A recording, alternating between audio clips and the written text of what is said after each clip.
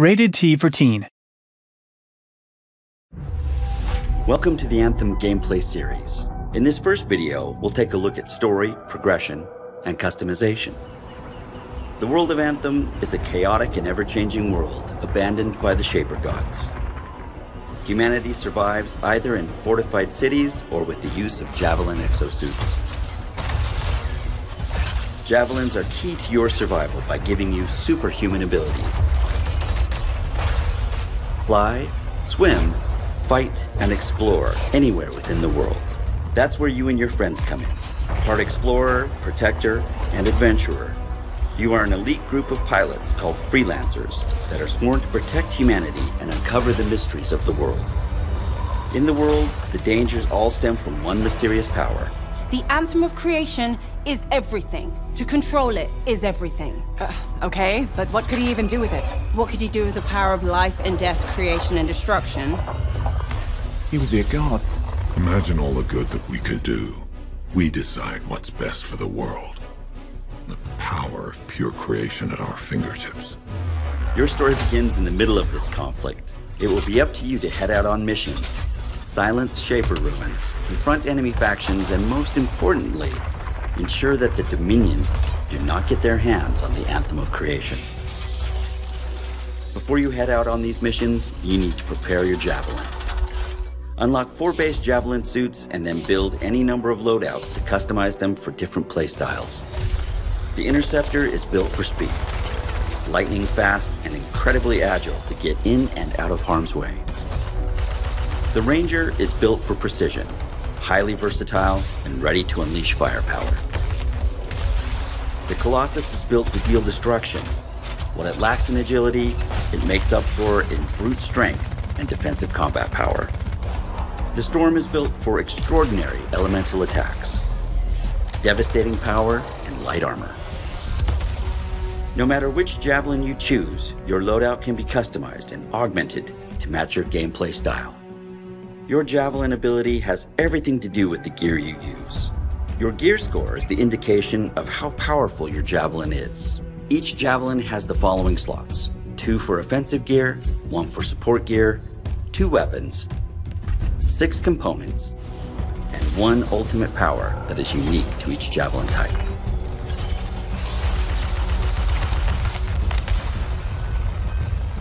In this case, we have four loadouts ready to go for the Ranger. Each one I've set up for different playstyles. Let's have a look at my team support specialist. We are using the Venom Darts and a Frost Grenade for offensive gear. This will be great for applying ice and acid status and for setting up combos. For support gear, we are using the Bulwark Point, which places a spherical shield in the battle. For weapons, we have a Hammerhead Assault Rifle and the semi-auto sniper rifle. One will give medium range damage, while the other allows for fantastic long range damage. For my six components, I have a selection of items that will help keep my weapons at maximum performance. Before you head out, you have a choice on a number of objectives and ways to play. Continue your critical story mission, pick up quests from people in the fort, including your crew, enter one of the formidable strongholds, or explore the open world in free play. Let's start by checking in with Haluk and continue with one of our story missions. It's just us in the Dominion now. Good. It's a freelancer job. Always has been. Ready, Javelin One? Ready when you are. We've got your back. You go there and you kick some ass. In this first fight, we are going up against the Dominion Fury. A Fury. The Dominion aren't playing games. Be careful. The Fury hits incredibly hard and will regenerate itself. It will be important to keep moving and use cover or the bulwark point. Two things to remember. Protect yourself and time your attacks to do maximum damage in bursts.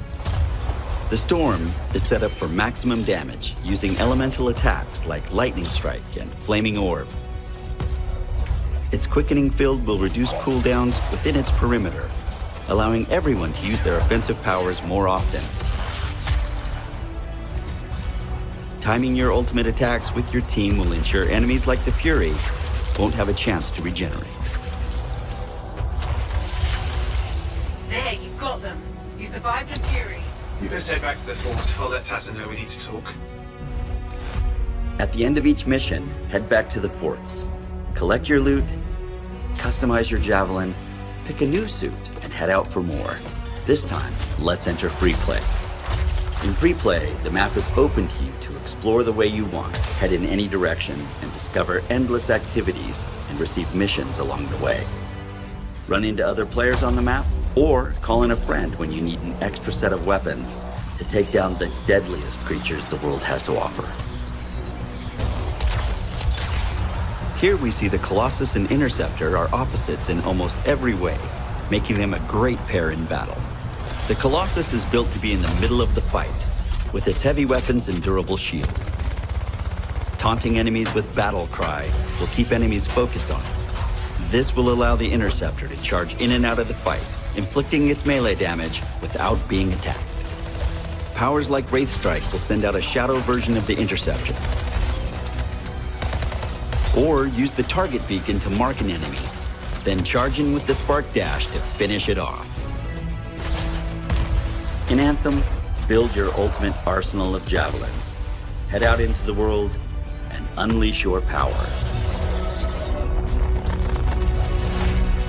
Stay tuned for the next installment that shows you the expanding shared world of Anthem and its massive endgame, including a look at our strongholds.